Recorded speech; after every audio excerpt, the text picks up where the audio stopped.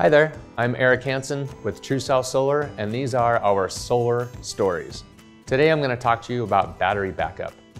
Battery backup is important to help you get through power outages when the grid goes down. If you couple a solar electric system with battery backup, you can withstand days without power.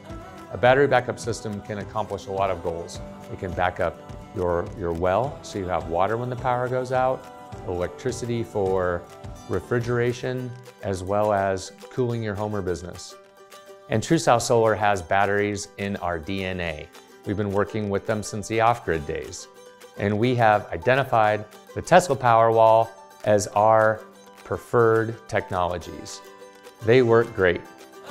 And we are an exclusive dealer and installer with Tesla Powerwalls.